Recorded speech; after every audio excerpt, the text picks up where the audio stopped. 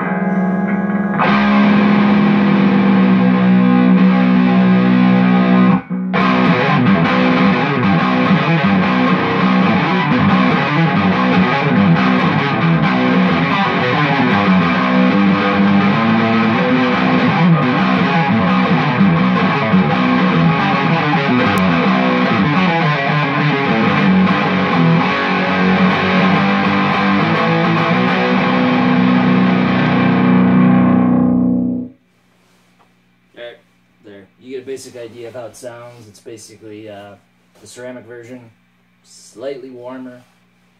It's not a huge difference. It's a little subtle, but that'll give you an idea.